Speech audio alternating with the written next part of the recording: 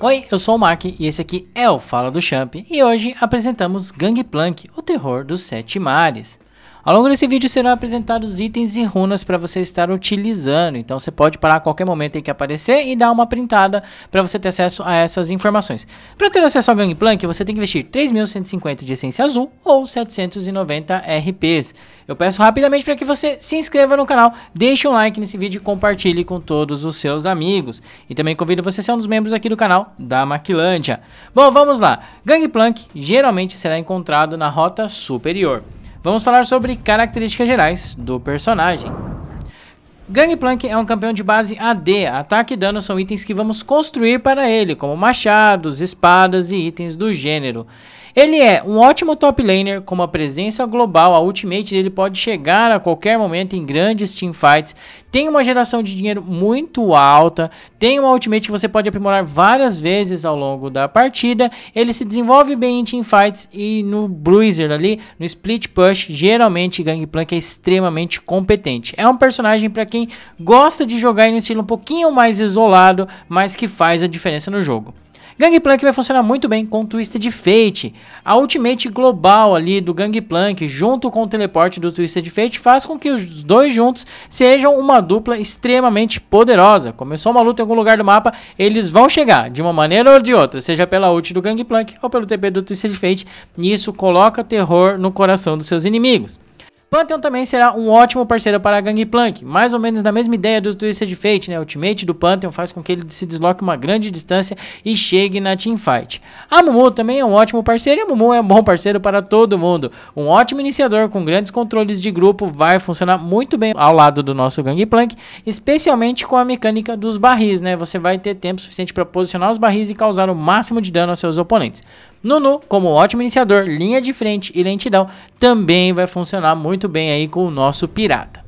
Quanto à fase de jogo, Gangplank a partir do nível 6 tem um ponto de poder absoluto, ele escala muito bem, tem um mid game sensacional, depois no late game algumas mecânicas, ferramentas e itens podem tirar um pouco da nossa força, como o Anjo Guardião, o Véu da Banshee, então nosso Gangplank é classificado como um campeão de mid game, a partir do nível 6 até acabar de cair todas as torres ali e todo mundo tá quase fechando as builds, é nesse momento que o Gangplank brilha e é a parte mais longa do jogo muitas vezes. E agora vamos conhecer um pouco aí sobre o kit do personagem. Gangplank parece complexo, mas ele não é. Você vai entender super tranquilo como que funciona.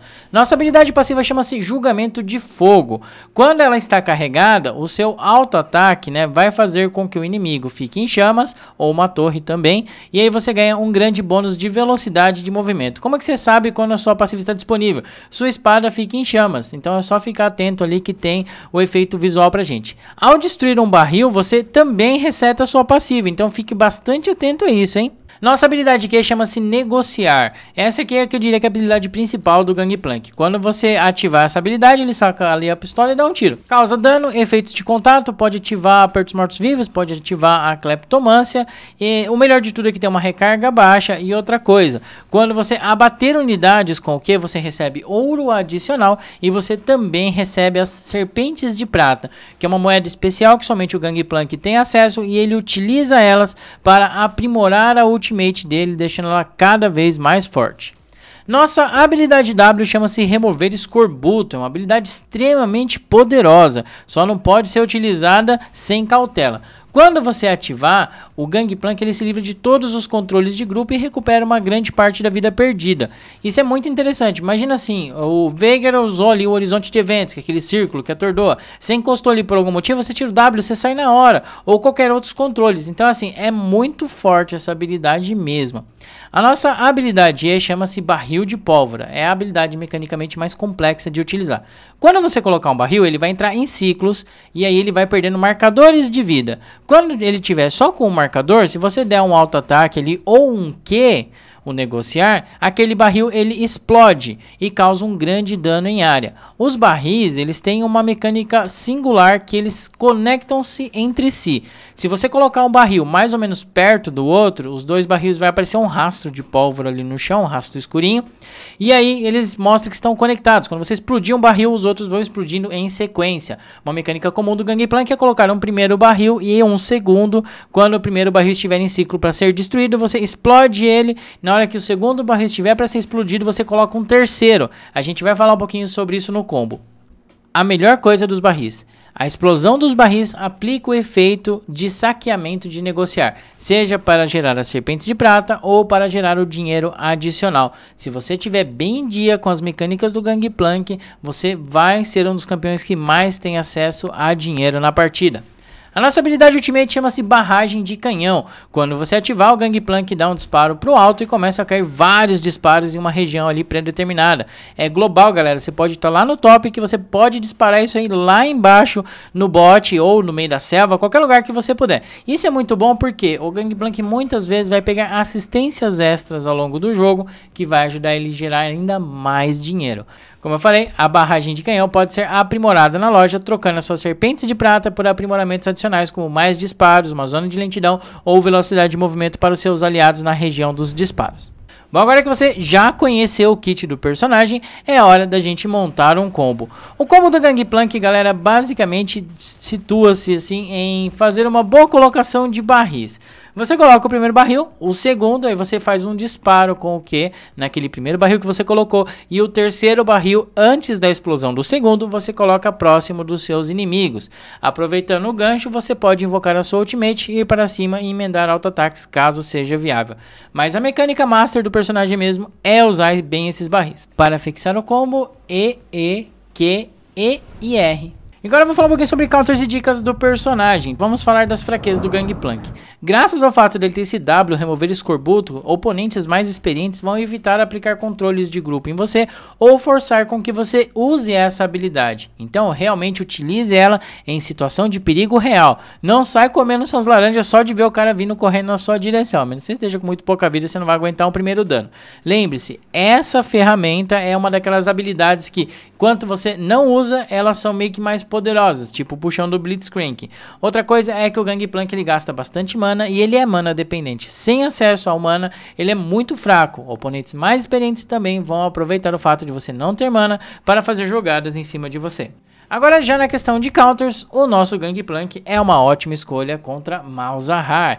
Novamente a gente já fala aí do nosso remover escorbuto, nossa habilidade que pode tirar o escudo do Malzahar rapidamente, facilmente, né? E o nosso Gangplank causa muito dano, zoneamento e o Malza é um campeão que não tem grandes escapes, grandes habilidades ali para se reposicionar ou movimentar.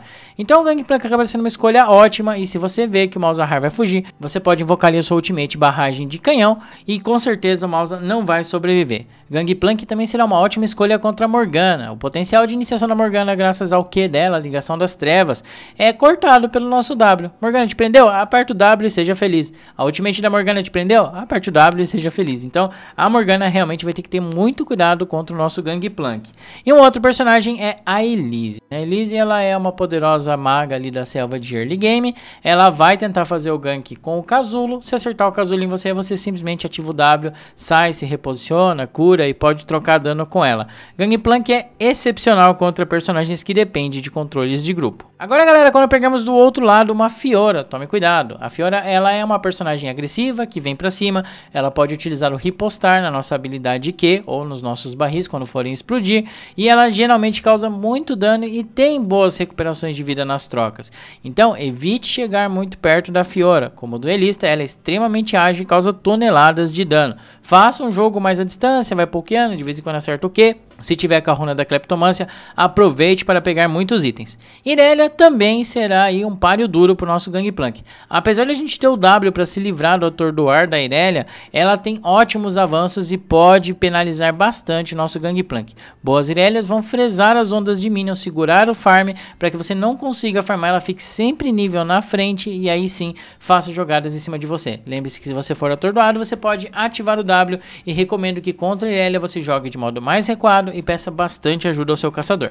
E agora o terceiro personagem que nós temos que ter cuidado é o Jax. Inclusive, quando estiver de Gangplank, recomendo que você faça o banimento no Jax. O Jax, além de ter avanço, atordoar, tudo bem que a gente pode se livrar com o nosso W, enquanto ele gira o poste, ele não recebe dano dos nossos auto-ataques ou efeitos de contato. Isso tira muito da força do nosso Gangplank. Jax é um campeão que escala muito bem e realmente no late game ele é uma pedra no sapato. Então, se for possível, faça o banimento. Se não for, jogue de modo agressivo agressivo, especialmente nos primeiros níveis, para que o Jax não tenha uma boa fase de rotas, assim você podendo dar a volta por cima e ganhar a partida. Bom, é isso aí galera, nosso vídeo hoje vai ficando por aqui. No izinho ali no canto tem alguns vídeos recomendados para você estar assistindo. A gente faz live aqui no canal todos os dias, segunda a sexta, a partir das 19 horas da noite. Você é mais do que convidado ou convidada meu para estar vindo aí participar das nossas lives. Agradeço, peço que você compartilhe esse vídeo, manda o link dele para aquele seu amigo que está querendo aprender a jogar de Gangplank ou que já joga. Informação é sempre útil sempre acaba ajudando um pouquinho. Se você gostou desse vídeo, inscreva-se no canal. E se você quer dar uma força, quer fazer parte da nossa família aqui da Maquilândia, seja um dos membros aqui do canal da Maquilândia. Aqui embaixo do vídeo tem um botão Seja Membro, basta clicar lá e se tornar um dos membros aqui do canal. Muito obrigado por assistir o vídeo, um grande abraço e lembre-se, vocês são OP. Valeu galera, tudo de bom.